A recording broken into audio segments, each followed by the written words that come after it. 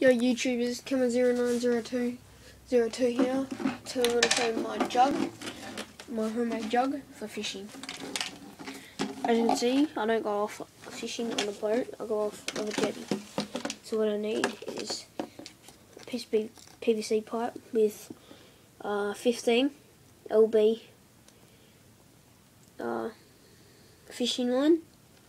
It's Jarvis Walker, so it's pretty good. Um, with a piece of PVC pipe. Um,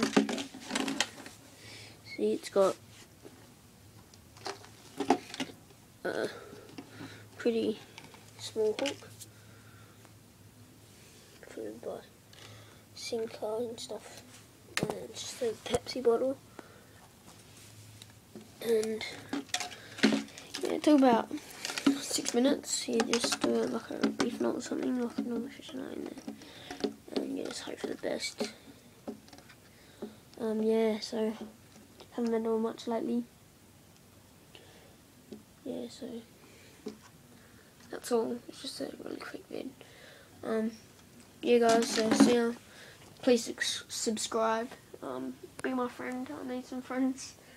So yeah.